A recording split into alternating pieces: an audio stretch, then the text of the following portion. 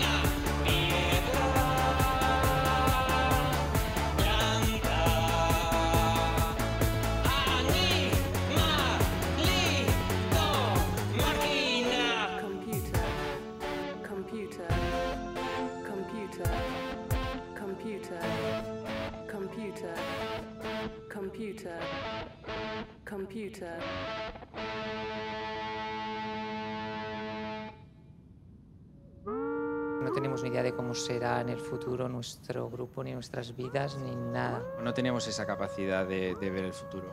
Ni, ni, siquiera deseo algo. No deseo que el futuro sea así o así.